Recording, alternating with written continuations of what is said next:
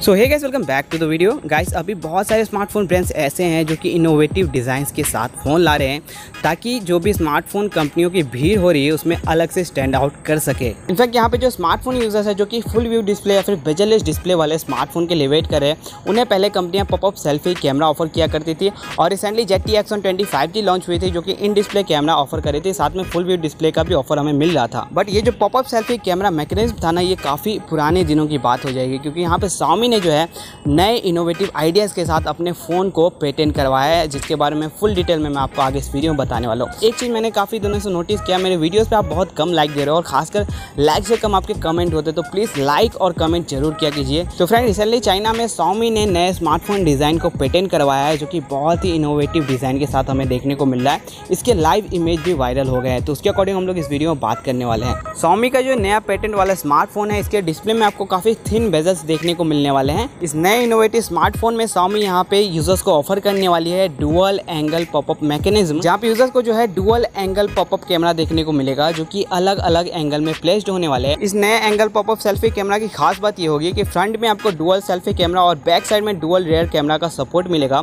यानी कि डिवाइस का फ्रंट पैनल जो है फुल्ली वेजरलेस होगा डिवाइस का बैक साइड में आपको कोई कैमरा सेटअप देखने को नहीं मिलेगा, सिर्फ़ एक एलईडी फ्लैश का ऑप्शन देखने को मिलने वाला है।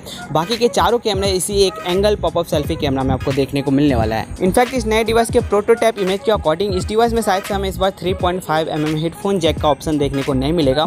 बट ये डिवाइस जो है यू टाइप सी सपोर्ट के साथ आ रही है और साथ में इस डिवाइस में हमें वॉल्यूम रकर बटन और पावर बटन का भी सपोर्ट मिलने वाला है। डिवाइस के बॉटम में आपको स्पीकर गिल का भी ऑप्शन मिलने वाला है। तो स्वामी के इस नए डिवाइस के हम फाइनल प्रोडक्ट के लिए वेट करेंगे कि स्वामी यहाँ पे कब तक इस डिवाइस को लॉन्च करती है। वीडियो के अच्छा लगा तो लाइक कीजिएगा कमेंट ज़रूर कीजिएगा और चैनल पर नए तो चैनल को ज़रूर सब्सक्राइब कीजिएगा।